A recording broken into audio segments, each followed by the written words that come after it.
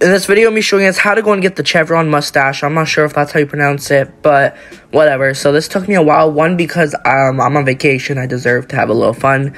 As you guys know, my whole life doesn't really revolve around here, and I've started to notice that a little bit.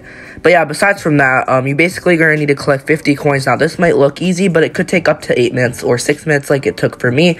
You basically need to go around the map near the mountain a lot more. They spawn, but you're going to need to find a bunch of coins. Now, um, you get uh, one coin per find. So when you find one, that's one coin.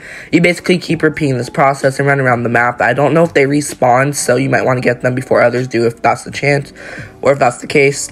And that's all you need to do to get it. Pretty simple.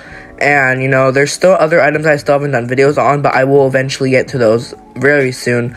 But as you can see, all I need to do is collect a bunch of these coins. Now, this is a new event that came out today, and a part of this, there's also a beard or something. I'm not sure what it's called. But that one takes about, what, 12, 10 minutes? I'm a big, oh my god, the editing's gonna take so long. So I'm gonna start with the Spotify Island right after this, and then move to that. And then I'll do the Find the Lollipops. I'm just gonna be very busy, but, you know, that's okay, because I did have a little fun um, before I was able to go do videos. But as you can see, we're about to finish up. We're getting really close. And then at the end, there's going to be a couple more here. And there's a bunch behind these mountains when they're hiding.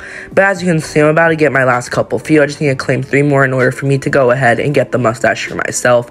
Now, it's going to take a little long of grinding, so good luck with that. But once you touch the last one, you should um, receive a badge at the bottom of your screen indicating that this item should now be inside your inventory. I hope this video is helpful. Make sure to leave a like and subscribe. And don't forget to turn on post notifications, and I'll see you guys in the next one.